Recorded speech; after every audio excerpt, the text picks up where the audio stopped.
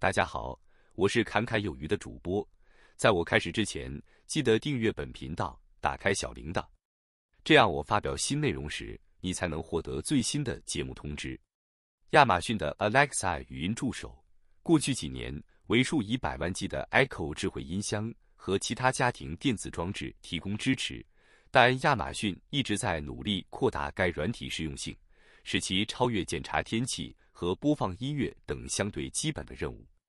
由生成式人工智慧驱动的 ChatGPT 等功能更强大的对话工具的兴起，凸显了亚马逊软体的缺点。该公司的团队正在竞相为 Alexa 注入更多此类功能。不过，根据近期发给员工的一份备忘录，亚马逊公司正在裁减负责语音助手 Alexa 的部门的数百名员工。亚马逊副总裁 Daniel Roche 领导 Alexa 和公司 Fire TV 流媒体特许经营团队。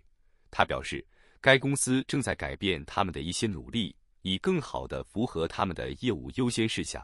包括专注于构建由生成式人工智慧 AI 驱动的能力。这些转变导致他们停止了一些举措，从而导致数百个职位被裁减。其中，美国和加拿大即将被解雇的员工。已经收到通知，印度的员工随后也得知被裁，其他国家的裁员可能会遵循其他时间表，以便与员工团体或其他因素进行协商。随着生成式 AI 需求大爆发，全球 DRAM 大厂不约而同看好高频宽记忆体 HBM 与 DDR5 明年的出货增长动能。这两项产品是现阶段行业中少数维持在损平点以上的产品线。产业界人士分析，由于生成式 AI 浪潮兴起，HBM 成为 GPU 晶片以外半导体晶片的当红炸子鸡。尤其是 HBM 后段的 3D 堆叠架构，限制了供给成长速度，供不应求的压力正逐渐浮上台面。此外，PC 产业正酝酿将 AI 硬体带入 PC 设计，市场预期，2024年将有各种。AI PC 装置推出市场，如单纯边缘端或混合云端边缘的 AI 装置等。尽管供应链尚未对 AI PC 做出完整定义，不过零组件的规格升级将是必然趋势。由于 AI PC 带动数据处理量大幅提升，高速传输晶片是必须同步升级，例如 Thunderbolt 三升级至 Thunderbolt 四或五。USB 三升级至 USB 四，而传输接口也需由 PCIe 三点零升级至 PCIe 四点零或五点零。因此，DRAM 规格由 DDR 四升级至 DDR 五将是必要的选择。业者指出，由于 HBM DDR 五为所有产品中利润最佳组合，因此各大存储晶片业者明年皆将资本的支出重心。放在 ELP 或 e beta 制成投片量的提升及 3D 封装设备。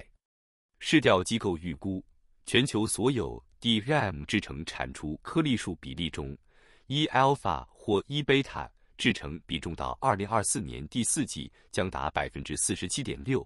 预料到2025年将逾50%。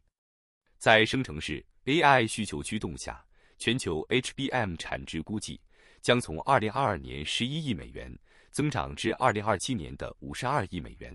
年复合增长率达百分之三十六点三。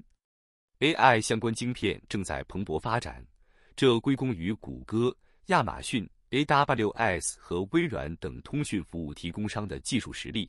以及他们与辉达、AMD 和英特尔等晶片制造商的竞争和合作关系。消息人士称。无论是上一波以苹果、华为为首的智慧型手机自研晶片浪潮，还是下一代 AI 自研晶片，台积电都是相关供应链的受益者。据台湾电子时报，业内人士十一月下旬透露，台积电已收到主要云服务提供商 CSP 的人工智慧 AI 晶片订单，其中包括微软的五纳米晶片订单。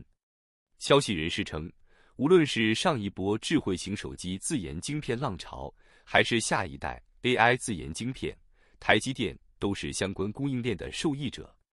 微软的数据中心预计将在二零二四年初同时采用 ARM CPU 和专用 AI 加速器，这两种处理器都是基于台积电五纳米生产工艺制造。微软日前推出了两款定制晶片，一款是 AI 加速器晶片 Maya 一百，旨在为 AI 工作负载运行基于云的训练和推理；另一种是基于 ARM 架构的云原生晶片 Cobalt 一百，用于通用工作负载。据业内人士透露，微软的数据中心预计将在二零二四年初同时采用 ARM CPU 和专用 AI 加速器，尤其这两种处理器都是基于台积电五纳米生产工艺制造，表现值得期待。消息人士称，微软自研的 AI 处理器与谷歌和 AWS 的类似，都以 ASIC 为主，因为 AI GPU 的技术门槛太高。而辉达仍是这些 CSP 的主要 GPU 供应商。消息人士称，台积电也是辉达和 AMD 在 AI GPU 方面的重要代工合作伙伴，并且正在提高 Coos 封装产能，以满足不断增长的需求。另据可靠爆料人 c o p a Seven Kimi 消息，辉达下一代 RTX 五十系列显示卡所采用的 GB 二百系列。GPU 将采用台积电三纳米工艺，辉达当前的 RTX 四十显示卡采用 TSMC 四 N 工艺，没有说明具体是几纳米工艺。有报道称是定制的五纳米工艺。辉达官方表示，在 TSMC 四 N 定制工艺技术加持下，RTX 四十系列 GPU 实现了高达两倍的效能功耗比飞跃。除了新工艺外，消息称，RTX 五十系列显示卡将采用 GDDR7 显示记忆体，最高支援三八四 bit 位元宽，接口包括 HDMI 和 DP 二点一，支援通过 PCIe 五点零连接，供电采用改进版十二伏二乘六的十六 pin 接口，发表时间可能是二零二四年底或二零二五年。总体来看。OpenAI 训练的人工智慧聊天机器人 ChatGPT 大火后，多家公司加入了生成式人工智慧及大型语言模型的赛道，纷纷加大投入，对人工智慧晶片的需求也大幅增加。辉达 H 一百等供不应求，也出现了人工智慧晶片研发热潮。除了辉达、AMD 等晶片厂商，微软、亚马逊、Meta 等厂商。也在针对人工智慧和云端运算研发晶片。无论是辉达、AMD 等无晶圆厂商 AI 晶片需求增加，还是微软、亚马逊等厂商研发晶片，对晶片代工商都是利好。尤其是制成工艺走在前列、有庞大产能支撑、良品率可观的台积电，伴随着新进客户微软的五纳米晶片订单。在已有苹果等多家厂商晶片代工订单的情况下，获得云服务厂商的人工智慧晶片订单，台积电先进制成工艺的产能利用率，预计也就将得到进一步的提升，进而推升他们的营收。从台积电发表的月度营收来看，他们在十月份的营收超过了七十五亿美元，时隔七个月再次同比增长，同比环比均有明显增加。也创下了新高，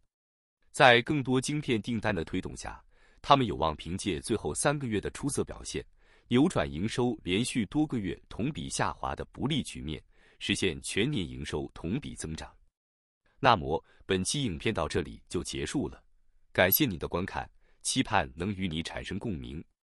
侃侃而谈，阔论有余。最后，请你点赞、订阅，这是对本频道最大的支持了。谢谢。